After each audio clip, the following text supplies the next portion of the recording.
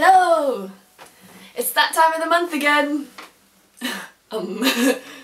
Alright, it's time for the bedroom sessions again. It's been a month. Crazy how fast time flies.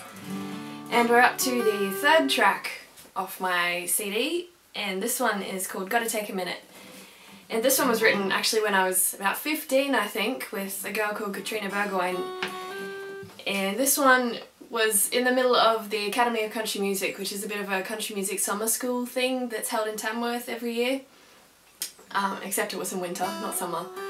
And everything was really crazy and rushed and just insane and we, amongst all of that, decided that we'd write a song about taking some time to chill out and, you know, spend the time to appreciate the things that we miss when we're rushing around all the time. So this one's called Gotta Take a Minute.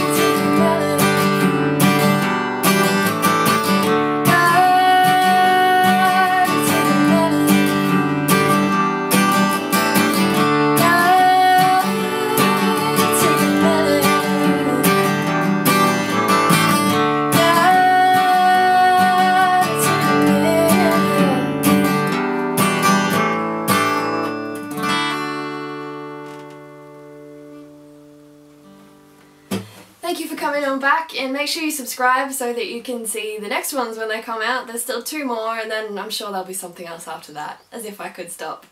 So um, we'll see you next month.